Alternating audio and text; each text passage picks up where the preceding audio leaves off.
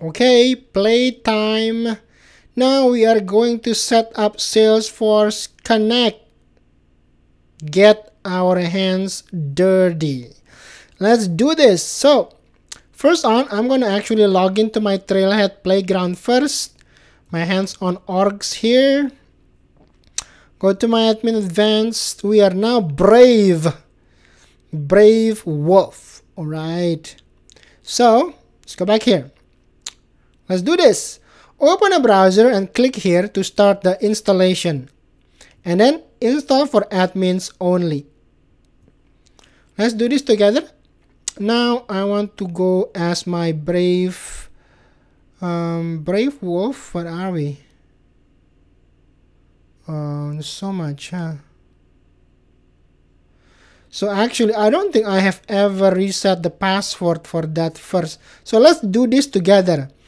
I'm going to reset my Trailhead user password. So you can do that with me if you haven't uh, reset your password because you won't know the password, right? When you create a playground, you won't know your password. So go to setup here and users.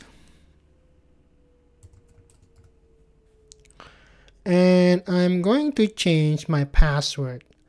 I'm Jimmy Tanzil here. Let me edit here. And do I have my correct email address? Come on. Yeah, student at sown.io. This is my username. I need to copy that. And then cancel. So I'm going to reset my password. How do you reset your password? You click there, right? And then you hit reset password. This is admin beginner. You should know this by now. You're an advanced admin already. Reset the password and hit OK. It's going to send to your email address where you define it there, okay? So check your email address here. I'm going to pop up my email address here, student at sown.io. Finish resetting your password over here. I'm going to click on here.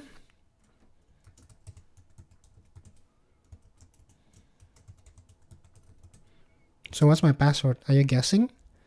I don't think you can guess it. It's really complicated. okay. So that's reset it. So I know my password now. So when I click on the, where are we? Here. Now I'm going to log in with a different username. My username, which we just copied, and my password here. Log in. I don't want this. I don't want to register my phone. Skip that. Now install for admins only as it is instructed, right? Install for admins only. And I'm gonna, where is it? Oh, come on. Here, install a package. Install.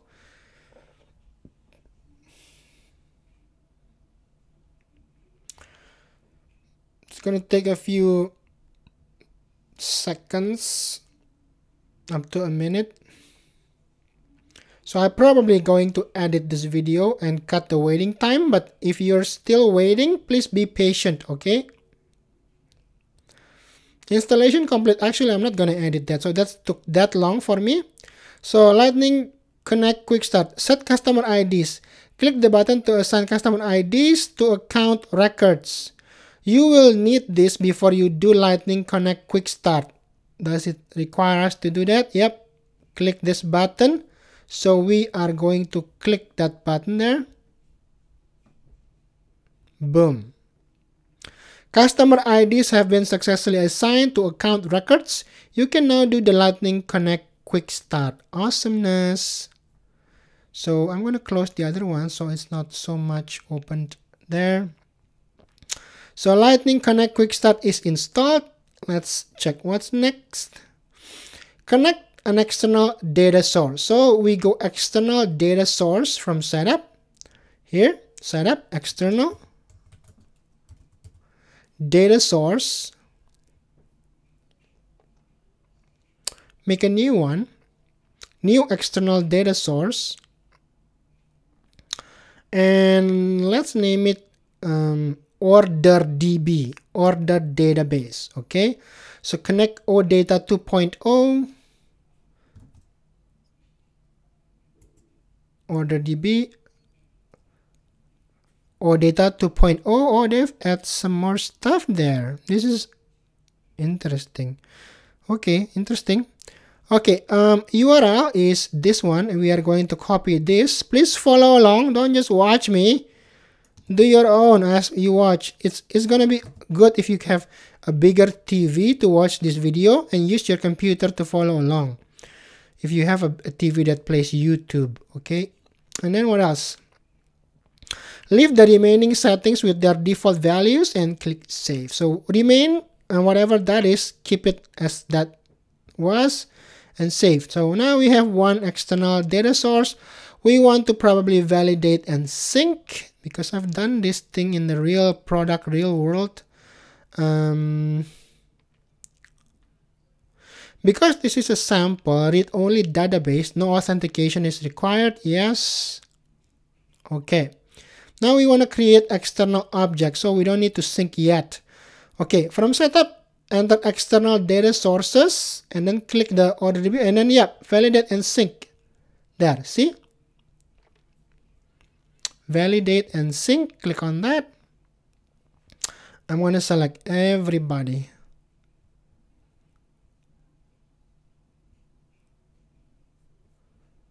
Let's just make sure we're not going going ahead of ourselves here. Well, actually, just orders and details. Uh, order details and orders okay? So it's not to take forever. Let's not take everything. Order details and orders just those two just these two okay? And then sync. And wait. Be patient. Be patient. And are we done? I think so. So now go back here Syncing, what does it do? Creates the external objects corresponding to the tables you selected. Syncing does not store um, any data in Salesforce. Syncing only defines mapping to external tables or repositories that contain the data. So we are not bringing any data in to Salesforce. Only mapping the tables, the fields. No records is being brought into Salesforce. Okay? Okay, now after you have connected the external data source and defined external objects, you can view external data directly in your Salesforce org. So you can click on this. Click orders. Let's try and do that. So um, here, boom. Woo! We are on object manager orders and this is an X. Look at this. That's new. Usually this is a C for a custom object for for an external object that is an x okay? Keep that in mind. Oh here they actually explain this. And then have different standard fields. Display url is the odata 2.0 url representing a record in the external database okay let's move on um, let's create a custom tab to easily access the order records sure so now we're going to create tabs, external, and then we're going to make or name it what? Um, orders as the object. Tab style, sure. Okay, I'm going to go to home here, tabs, make a new custom tab, custom object tab here. and then the order object. Woohoo! There we go. Let's just pick an order. Let's make it an apple. And then next. And then let's default on. Everybody can see it. Next. Include the tab and everywhere let's just bring it on right okay now if we go here we should be able to see orders There. There's two of them. Order home. Order X home. How do I know? It's at the bottom here. At the bottom, look at this bottom part, okay? Order X, external object. There we go. Recently viewed. Ah, oopsie. Oopsie daisy. Boom, look at that. You know, you can customize this as well. If you want to see some nice um, looking order date, order ID, is it shipped or not shipped, right? Customer ID, and we don't even need the display URL. So, oh sure, why not display URL, put it at the, the last one here, save. Boom, that's making more sense. We have the date, the ID, ship date, and you can click on this to see the actual data there. Look at that. Amazing. Okay, let's go back here. What else do we need to do? This we have done this. Um, click one of the order external ID values. Okay, external ID here, number nine. We have to actually click this. See, we have the details, which we already bring over no related yet. That's pretty much it. So you can also set up authentication for the real thing. For now there is no authentication. So let's do the hands-on challenge already okay? Now use salesforce connect to create external objects to track phone plans. Oh now we're a phone company. What bell? It's in canada. At&t verizon wireless. What else you got out, out there? T-mobile the phones and uh, phone plans connect uh, by your company are accessible via OData on a third-party application. Using Salesforce Connect, create two external objects to let your org access that data. So create an OData 2 external object data source called mobile devices. Let's do that first. Copy that. So this is the challenge, okay? Let's do it together. Go back to setup. External data source and new one mobile devices type is data 2.0 Ooh, they want us to buy. But this is a playground, you dude. So I'm gonna delete this.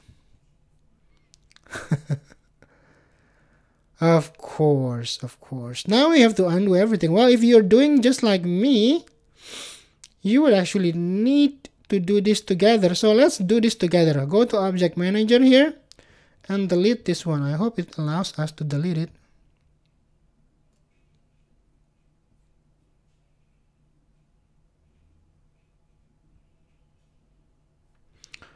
Let's see it again. Now order details. So you might need to do this well you have to right? If you are is it gone now? Okay let's go back to setup again. Now home. External data source. Can we now delete this please? No we have one more to delete Boom. So you need to follow this along. Otherwise, if you already followed creating that one, it won't allow you. Right now, one more try. Delete this again.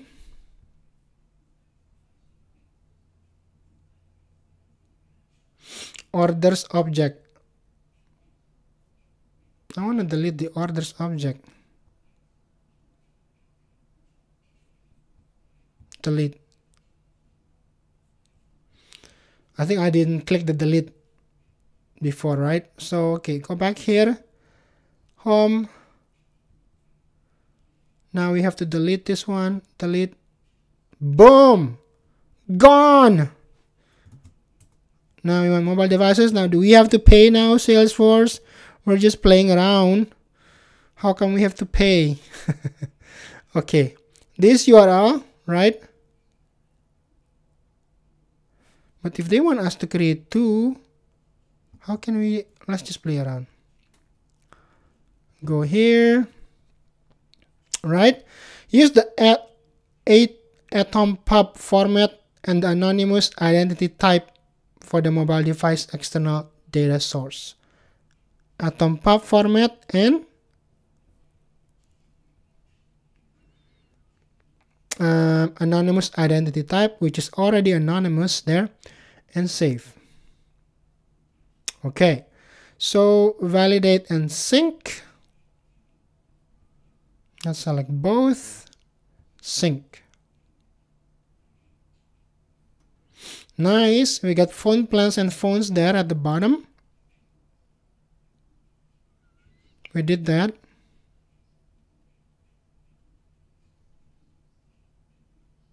From the mobile device external data source, sync the phone table. We did that. Oh, that's it, right? Make sure that you don't change the table name field in the ex either external object. So we did that. So that's the challenge. Uh, that's pretty straightforward. So we can click there. We can see the fields available there. Okay, so let's validate the challenge and get our 500 points. Hmm. The external data source was created correctly. What? That is weird. It is created correctly, right? Why, how come you don't give me my points? Give me my points already. Boom! Okay.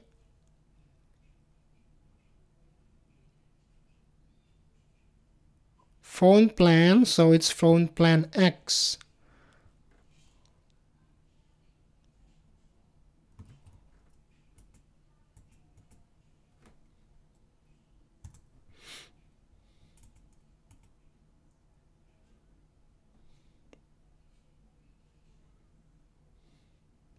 table name phone plans.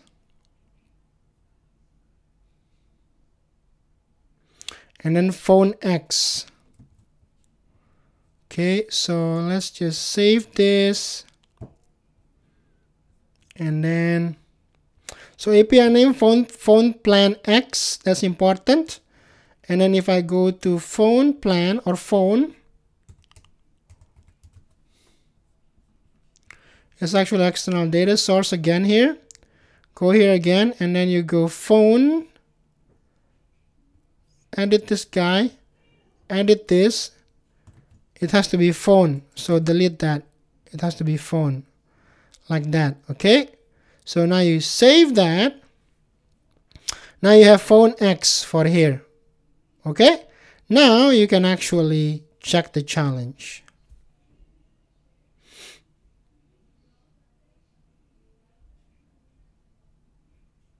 Bada bing, bada boom. Yes, 500 points. Hit that subscribe button and explore new trailhead grounds and learn to implement the most useful and popular apps on the Salesforce App Exchange. And do yourself a favor, like this video and you'll be surprised on how much more you understand when watching this same video after liking it. Don't take my word. Watch this one more time after you like the video and see it for yourself. Bada bing, bada boom.